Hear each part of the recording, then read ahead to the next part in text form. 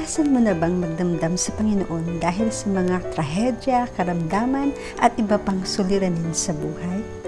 Magandang umaga, oras na po upang tayo ay mag-almusal, mag-alay, magmuni at magdasal.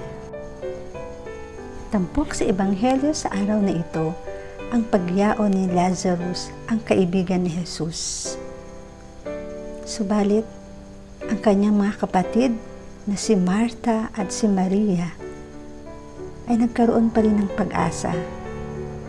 Sa unang bahagi ng pagbasa sa Ebanghelyo, matutunghayan natin na may kaunting tampo si Martha kay Jesus sapagkat sinabi niya, Panginoon, kung sana ay nandito kayo, maaring hindi mamatay ang kapatid ko.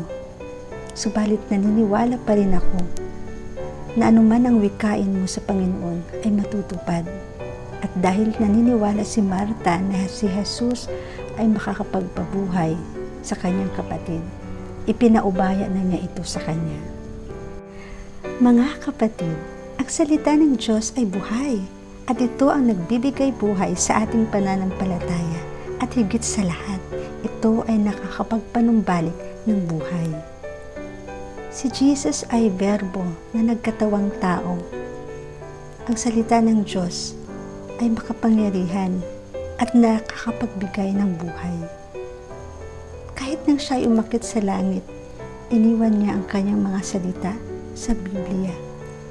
At hindi lang yun, isinugo pa niya ang kanyang Espiritu Santo na gagabay sa atin. Kaya sana, huwag tayong magdamdam kung minsan nakakaranas tayo ng mga karamdaman, kalamidad, trahedya na minsan ay akala natin tayo ay pinabayaan. Kagaya ni Martha, nang umpisa ay nagdamdam siya. Subalit nanaig pa rin ang kanyang pananampalataya. Alam niya na si Jesus ay makakapagbalik, panumbalik ng buhay na nawala. Dahil siya ang nagbibigay buhay. Tayo rin ay mga kaibigan ni Jesus. Hindi niya nais na makita tayong naghihirap o nahihirapan. Huwag sana tayong magtatampo sa Kanya kung minsan may mga pagsubok na dumarating sa ating buhay na akala natin na tayo na ay Kanyang pinabayaan.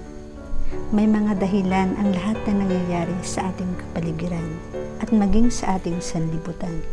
Magtiwala lang tayo na ang Diyos lamang ang nakakaalam.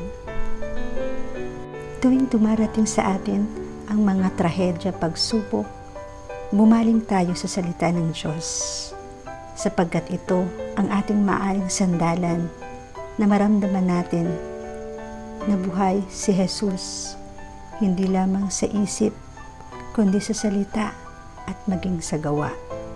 Amen. Panginoon, maraming salamat po sa buhay na walang hanggan Maraming salamat sa iyong salita na nagbibigay buhay, nakakapagpanibago ng buhay, at higit sa lahat, nakakapagpanubalik ng buhay. Sana ay umasa kami na ikaw talaga ang aming kailangan at hindi na kami bumaling pa sa ibang bagay sapagkat ikaw ang salita na nagkatawang tao na nakipamuhay sa amin at maging ngayon na ikaw ay nasa langit, ipinagkaloob mo ang iyong espiritu at ang iyong salita ay kapiling namin at sana ay huwag mawaglit. Amen.